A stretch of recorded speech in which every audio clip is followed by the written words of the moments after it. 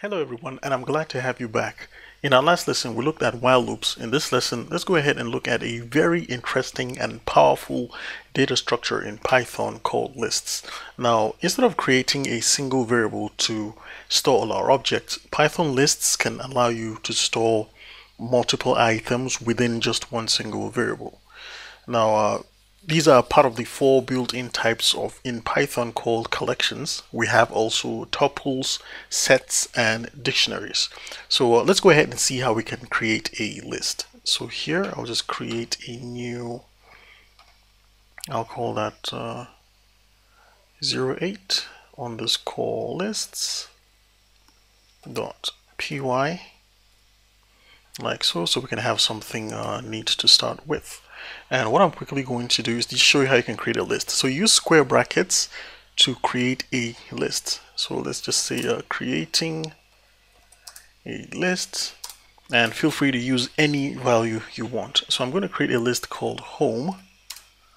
I'm going to say equals square brackets and that's it. We have an empty list. I can just simply do something like check the uh, print out the type of this object called home.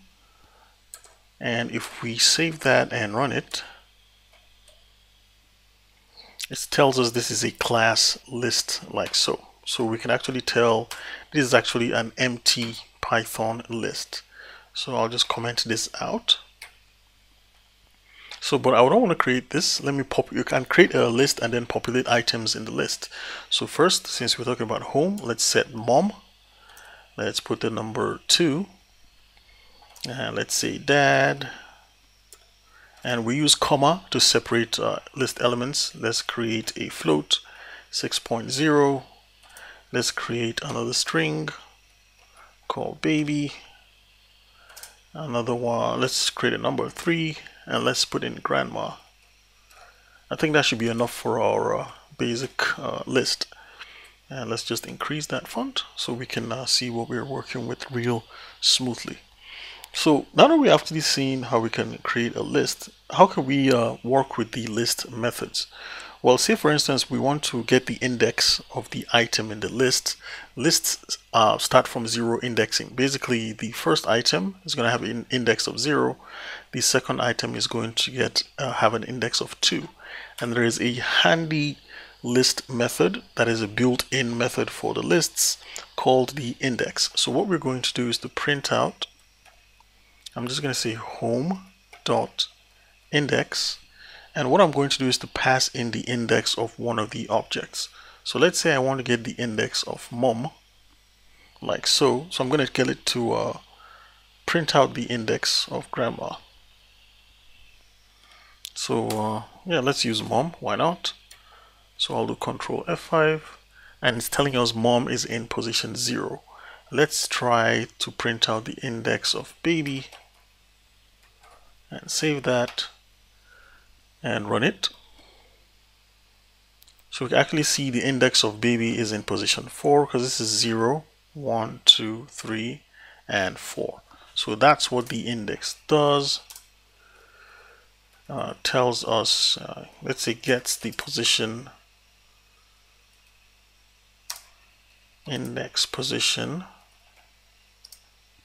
of objects in a list. So that's what our index does.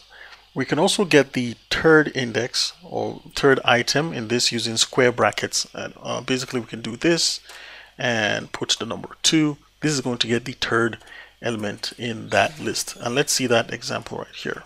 So I'm simply going to say print and here we use our other format items.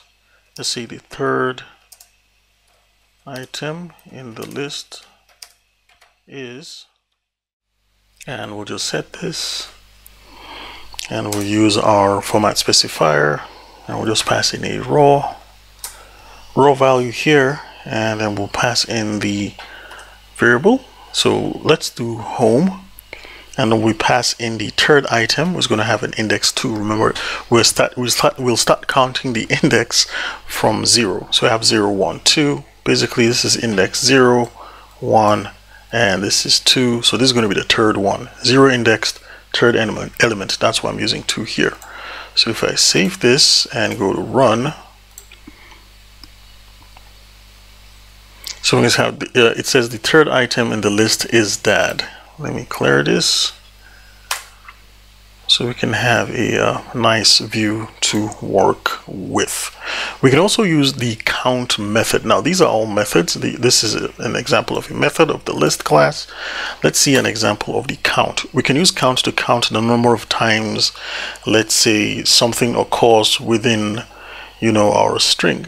For instance, if we want to count the number of times, let's add some values here to our string. Let's say uh, 3, another 3, and you get the idea. We just keep going. So if you want to count the number of threes we have here we can use the count method. To do that we can actually simply run the count method without using any print.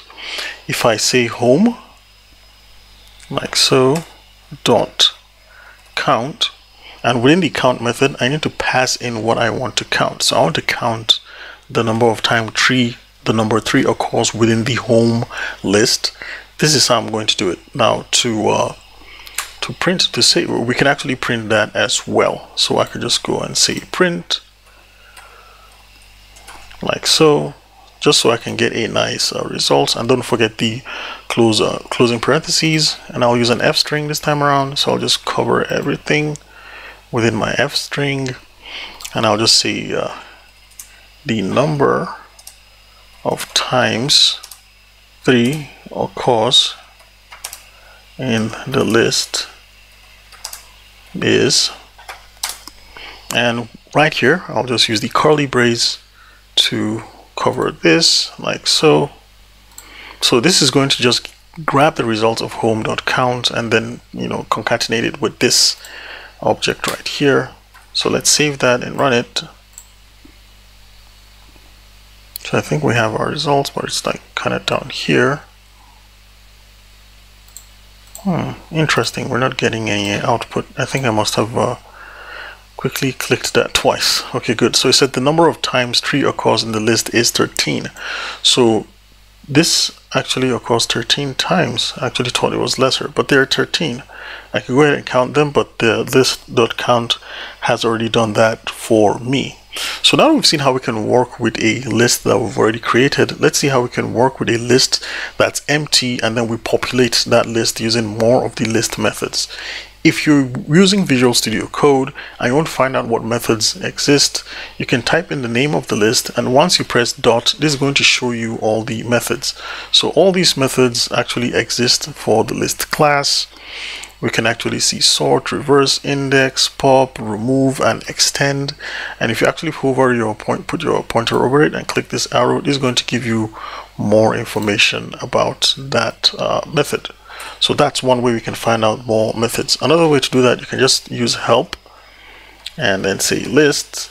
This will actually print out the uh, help on the list class. I can do a print help on list this will list out all the documentation you have for a class. So that's another way we're going to do it. But I'm not going to print this, so I'll just comment this out real quick. And let's create an empty list. Me just get rid of this. Create an empty list and then populate that list. So let's call it our list. It's going to be equal to an empty list. So this is an empty list like so. So to add elements to this list, we're going to use append. So you start with the name of the list, which is our list dot append like so. And then within the append method, we can pass in what we want. So let's call this, let's, uh, our games. Oops. So let's call this our games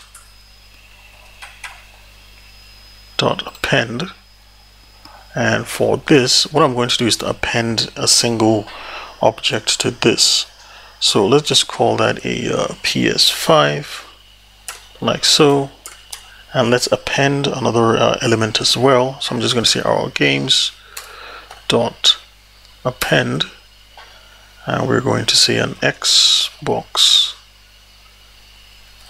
One S like so we're actually going to append another one. Let's say our games dot append. And here I'll just say uh, Nintendo Switch like so. So we have an empty list and now we've appended objects to this list. So again if we wanted to check out the first element of our list we could just say uh, sorry our games. So I'm to say our games element 0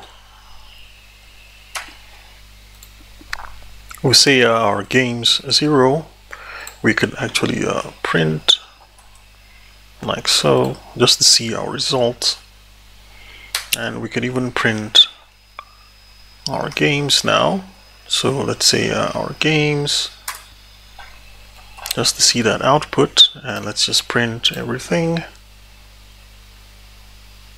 so first our first print is that we can actually see a it returns a list and then we can actually see the uh, index of that object at the first object which is zero. So that's why we actually have this uh, just drag this up real quick and then drag our results like so yeah so uh, that's why we can actually see that uh, result right there. So what if we want to change elements in a list? Now when you create a list lists are actually mutable. It means you can actually change the elements. So they're not static they're not fixed. I can actually change the first element here or change the element here. So let's change the first element here in our empty list and let's set that to a uh, PS5 so to do that we're going to uh, let's just get rid of this. So here where we have our games which is the first element here we will use an equal sign to assign a value and we just say PS4 so if we save that oops well, that's better. So if we save this and then print let's say our games right now let's see what happens to this list so let's go to run and run without debugging and let's just push this wheel up we can actually see now the list has changed and the first element of that list is a PS4 so if we wanted to change the uh, so this is index 0, 1, 2. If we wanted to change the Nintendo Switch, you guessed right. We're going to say our games and set this to 2. And let's just call that a. Uh, I don't remember the consoles. oh, let's call that a SNES. Like so. So we're changing the third element of our list to SNES. So again, if we save that and run, So we can actually see the third element in our list has been changed to a SNES, which is uh, kind of cool. So another thing we can actually do with lists is to sort the elements in a list by alphabetically or numerically. So let's say I have uh, names here and I'll just use an example of four names. So let's say the first name is uh, Ace Combat so second value let's say we have uh, Resident Evil 4 and let's create the third element let's say we have uh, Super Mario Galaxy we can actually sort this using the sort method. So if we say names dot sort and we save that. Now if we actually go to print names and save this and we run it so we can actually see it starts with A R S. So it's actually sorting this alphabetically. Let me see if my example this is a very bad example.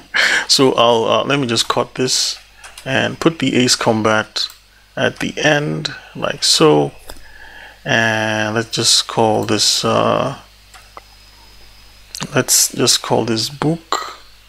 Is there any game that starts with B? I don't remember right now. So I'll just I'll just I'll just use book. That's okay. So if we save this and run it. So now we have Ace Combat, we have Book, we have Resident Evil, and we have Super Mario Galaxy. Let's see what happens when we use uh, sort numeric uh, values. So numbers, so I'm going to create a list of numbers and I'll just do 12.33, 0.12, 34.22, 0.00001, and 9 let's see what happens when we sort this. So let's do numbers dot sort like so. And let's print numbers so if we save this and go ahead and run it again so here we can actually see it has changed this to um, 1 times 10 raised to the power minus 5. So that's why it's actually, uh, that's why this is a 0 point. I actually said this value here, this is the most smallest, right? So this is the least. That's why it's actually the first and it's actually changed that to uh, the power of 10 in a negative power of 10 that's 0 0.0005 that's a standard form. And then next least number is 0.12 then we have 8 12 and 34.33 so it's actually sorting these numbers in this order is sending uh, sorting numbers in ascending order. What if we want to sort the numbers in descending order? So we can pass in an optional argument within the sort method that will actually take that uh, you know kind of like uh, reverse this. So here we can actually see when I actually cl clicked in between these sorts, it actually popped up a hint and showed us the keyword reversed. So to simply use that we're going to say reversed equals true. So if we save this and we run our program okay the result is down there Okay, is not what I, let's clear this. And let's run our program again. So now that I have sorting as true, we can actually see it's sorting in reversed. So it's sorting in descending order, basically the highest to the lowest. So that pretty much wraps up the uh, quick tutorial on sorting. Now, another problem you can actually see is that let's quickly look at that problem. We're using the sort method right now and what happens when I want to uh, print out the sort right so let's say for instance we have this list right here let's go ahead and print out these values so if I try to print out print numbers dot sort if I do this and we run this we're actually going to get a very peculiar error called none. It's actually not an error. It depends on what data type you're working with. So let's see what happens to uh, let's store this as a value let's say a check. We're trying to check what numbers dot sort is. So let's say uh, let's also check uh, let's see SOR right? Let's say numbers dot sort. So let's print the type of SOR and let's also print the type of check. Like so. Actually we don't even need to print the type. Let's just see uh, numbers check numbers the sort. So we're trying to print the type of uh, we don't need these two examples. We can just use one. I think that that should be okay. So we are storing this check as numbers.sort let's see what type check is so let's go ahead and save this and run without debugging. So this is actually telling us that it's of a class NoneType. So basically what's happening is when we use the sort method, what it's doing is it's a sort method cannot be used on an iterable. So we're trying to store this and we're trying to return it as an iterable. An iterable is in iterable is an object where you can enumerate. It means you can count.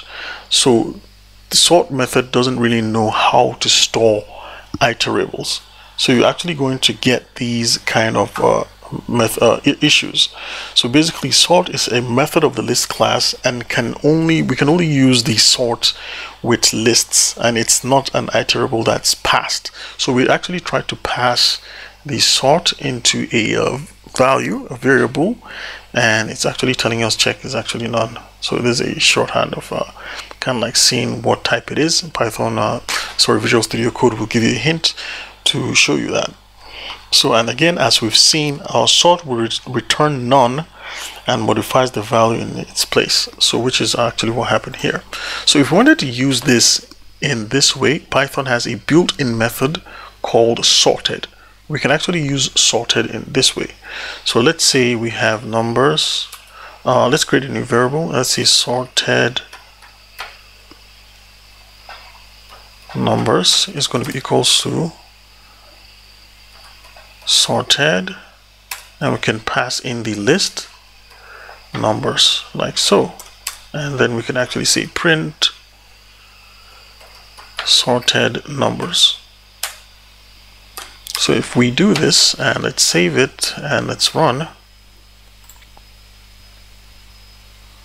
So we can actually see we're seeing this result for the sorted numbers right? It's sorting in ascending order basically from smallest to the largest. So that's the key difference. Sort is going to return what python calls a NoneType. And a NoneType is a very important python class. It allows us to return values where you would actually expect to uh, kind of like have errors because it doesn't understand what kind of uh, type you're using. So uh, basically that's a very short and quick definition for you know none. When you describe or define a function you want to pass the first argument to that function as none. So in case you, you know, have missing values on the result and you can actually use none to specify also when you have a data type that Python is not really kind of sure of for instance like what we did with this right here we have a print method that's accepting a sort that we have in that uh, example where we actually try to print the value of the sort. Let's say for instance I actually do something like this. So I'm trying to print out sort.names and maybe for instance I try to store that in a variable. Let's just call that a and trying to print out sort.names this is going to be a non-value type because we have a print function that is trying to print out a sort method. So we're going to have that uh, issue. And basically the key value for a default sort is actually none as we can actually see here which is applicable to most methods. So I hope you understand how you can create lists how you can access the index from a list how you can change or mutate lists how you can remove elements from a list. I think we haven't used that uh, function yet. To remove elements we can actually use uh, pop so let's say for instance we have this uh, numbers right here. If we wanted to remove the first element all we need to do is say uh, numbers dot pop. This is going to pop out an element and we can specify an index. So let's say we want to pop out the second element. I'll just do one like so. So if we save that Let's put an eye out for 0.12, whether we're going to see 0.12. So let's save and run. So we can actually see 0.12 is now missing. It was initially here, but now it's actually missing because we've popped out 0.12. Basically, that means we've removed 0.12 from that list. So like I said, there are a lot of list methods. You can play around with these methods and see them. So let's briefly look at the list methods and then we could just wrap this up. So if we quickly want to know the methods, if we do uh, numbers dot, we should actually see this value. So we've seen append, which is going to add an element at the end of a list. We can actually use clear, and clear is going to remove all elements from the list and it's going to make it an empty list. We can use the uh, insert to add an element at a specified position in that list. We can use extend to add elements of a list to the end of this list as well. So if we have a, another list, we can use extend to add that to that list. We've seen an example of the uh, index and we actually use the index to return the index of the first element with a specified value. And we've actually seen uh, okay we haven't used copy but you can use copy to return a copy of that list. And we can use count to return the number of elements within a specified value. So these are the uh, list methods and hopefully uh, lists are not going to be something confusing. They're actually nice and good. In our next lesson we're going to learn about looping where we can use loops to count elements within a list. Thank you very much guys for watching and i'll see you in the next lesson